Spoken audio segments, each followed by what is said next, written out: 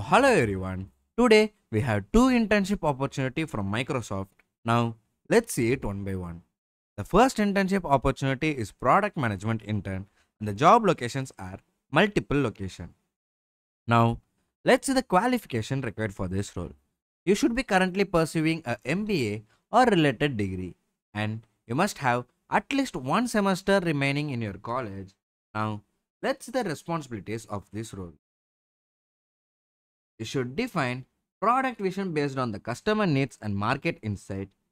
And you should identify the opportunities to address the unmet customers' needs and add value. You should enhance cohesive user experiences across key features. You should prioritize investment with the cross-functional and data-driven decision. You should collaborate on release goals and strategies for the growth and retention. Now, let's see the second internship opportunity. It is technology consulting summer internship and the job location is multiple location. Now, let's see the qualification required for this role. You should be currently pursuing a bachelor's degree in computer science, engineering or related field. And now let's look on to the responsibilities of this role. You should support pre-sales by offering technical input aligned with the business need.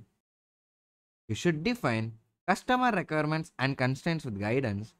You should build expertise in intellectual property and address IP gaps. You should identify a way to boost cloud and Microsoft technology adoption. And you need to understand the customer relationship and improve the satisfaction and address the concerns.